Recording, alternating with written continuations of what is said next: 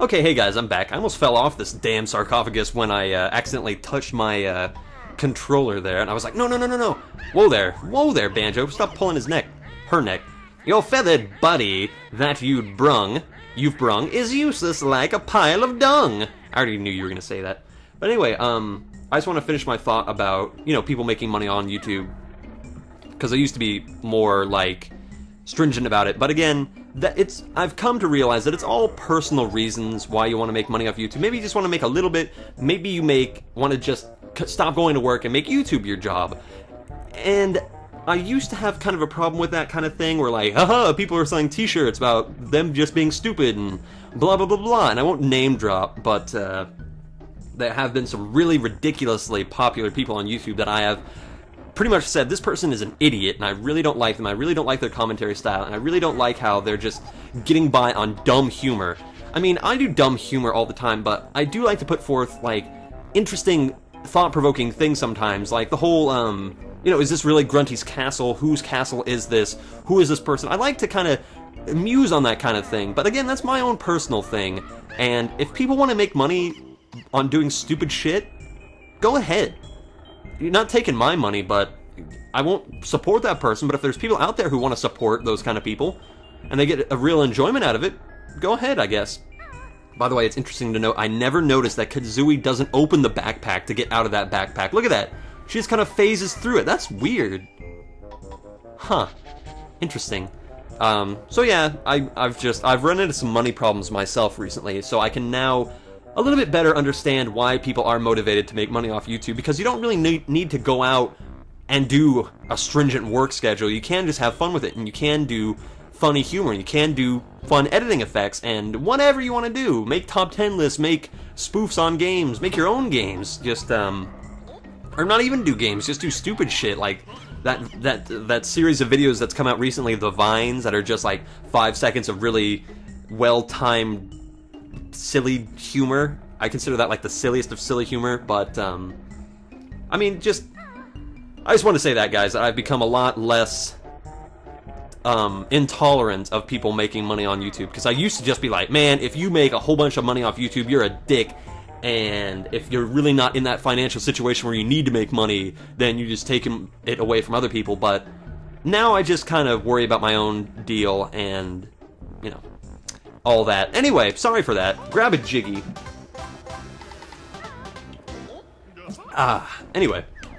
What is your opinion about people making money on YouTube? I, I would really like to know what kind of the general opinion of people are now. Like, I remember a while back, it was kind of more of a more of a thing where it's like, oh, you're obviously making like I won't again, I won't name drop, but there is certain there is a certain person on YouTube who does video game videos very similar to my own where it's just playing a video game and doing commentary over it.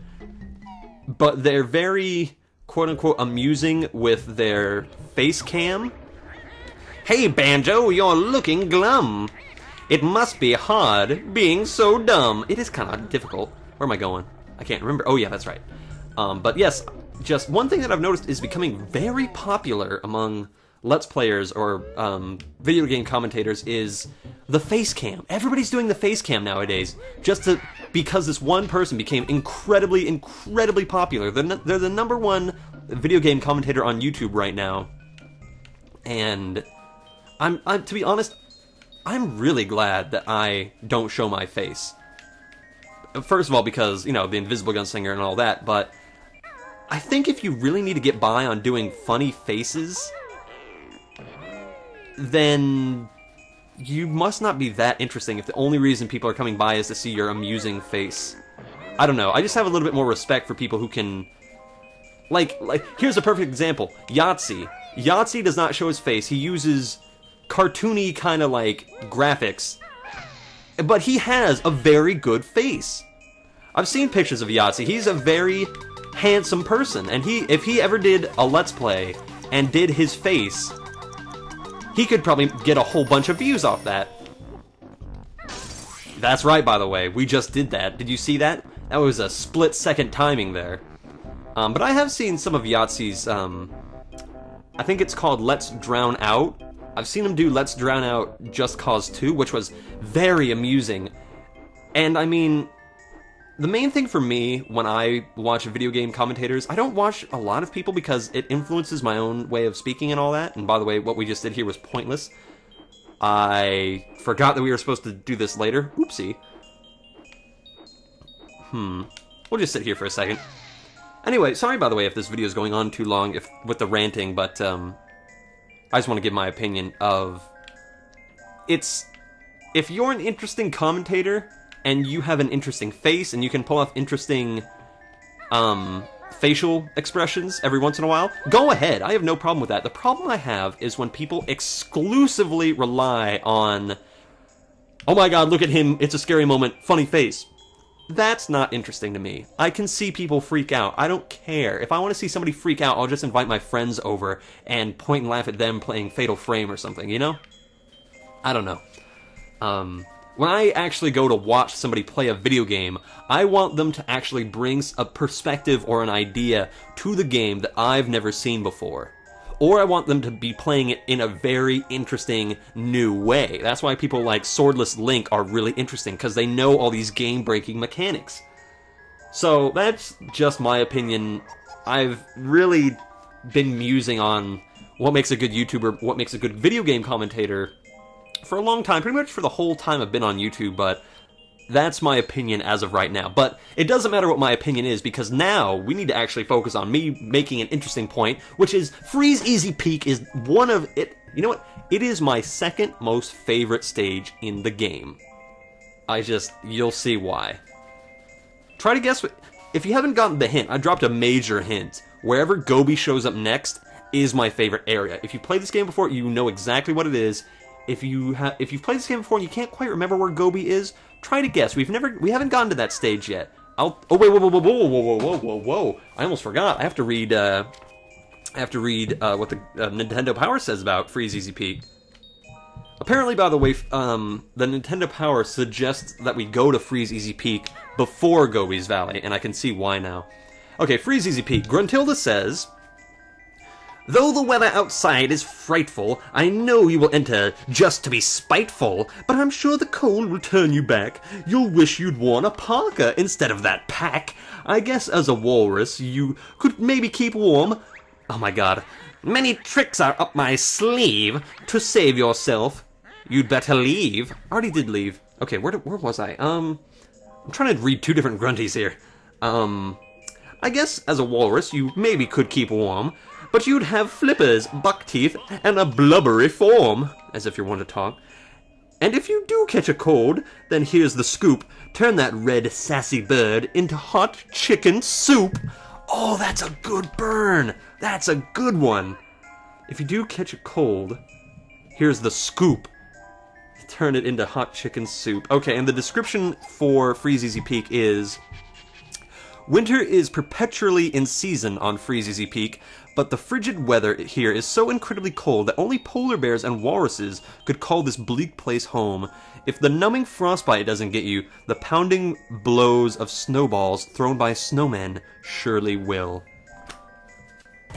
Interesting. Let's go. Ah, there it is. There's the music. Ho ho! The peak's got another new move waiting for you! if you can find it. Ah, this music. That moon. I like how the moon and the stars just kind of circle around. They don't go lower or higher, they just kind of go in orbit around this area. That's a very pixelized moon. By the way, here's a giant snowman! That's right, some... I can't imagine what kind of monster built that snowman. You know what? No, I know what that is. I know exactly what that is. That is a modified version of the Statue of Liberty. Because remember, this is a post-apocalyptic nuclear area, so we're in nuclear winter right now. Okay? That that huge thing right there used to be the Statue of Liberty. You maniacs! You blew it up! You really did it this time! You gave the Statue of Liberty a corncob pipe! You monsters! But even the music here just makes you feel cold. It's very Christmassy. I hate to say Christmassy because everybody is like, oh, winter, it's obviously Christmas. But no, this does feel kind of like jingle bells, you know? Anyway, let's go on this, uh, This Eskimo's paradise. Here we are. Oh my god, this is the funniest thing ever, looking back. I remember this now. That's right, everybody. We've got polar bears. Polar bear children who weep uncontrollably. oh, look, they've even got a picture of the snowman. Okay, let's talk to you. What's up? I mean, it can't be that bad in here. I mean, look, you've got, um, one room, um, with a table and a chair. You don't have a bed or a refrigerator or anything, but you've got a chair and a table and a mumbo skull, which, well, I actually kind of took, but, uh,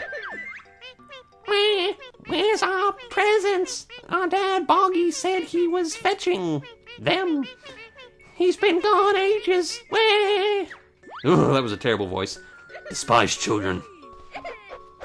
Beat the shit out of these kids. You want presents? Here's a present. Here's a knuckle sandwich. It wouldn't be Christmas without a few black and blues. I like how two of these polar bears are wearing like shorts, but then this other one gets like a nightcap or a dunce cap or something. What makes you so special? Okay, whatever. Okay, fine. Cry your little crying tears at your own time. I've got a father to find. This is like some homeward bound shit. It's like, our father's gone. We'd never get back, but wherever could he be? He's dead. Hey, cool. All those polar bears get to be Batman now. Err, my stomach aches. I shouldn't have eaten that shiny thing. Someone help poor Boggy. Quick, children, run down here and save your father. He's eaten something shiny. Uh, I didn't I didn't know that polar bears were naturally attracted to shiny things. Okay. Okay. Bear to bear, I just gotta say, you're gonna be okay, man. Somebody get me a medic. Okay, we're, we're gonna do CPR on you guy. One, two, three. Okay, that didn't work. One, two, three. Mouth to mouth. Oh crap, I can't do mouth to mouth. Our noses are too big. I'm not gonna let you die, damn it. One, two, three. Okay, fine, you're dead. Bye bye. Whatever. Oh, well, that was magnificent. By the way, apparently Kazooie is part Spider-Man. Look at this angle that we're at. That is a 90 degree angle. That is more than a 90 degree angle. Look at this. This is almost straight up horizontal right there. Oh wait, 90 degree angle is horizontal. This is like a 40, at least a 50 degree angle. Sorry, it's been a long time since I studied trigonometry. This is a fat snowman too. Whee! Maybe more like a 35 degree angle. By the way, did you hear that ominous laughter? Look at this. That's right. We've got snowman, everybody. That is a scary laughter. Listen to that. Er, er, er, er. That sounds like the kind of laughter somebody would, like, have before they put, like, hypodermic needles in bubblegum, you know? Er, er, er. I'm going to mess up children's lives forever. With my snowballs. now tell me this doesn't kind of feel Christmassy. Can, can you not hit me here? You can't hit me here. That's hilarious. I'm going to take a little break now. oh, that's funny. Delicious.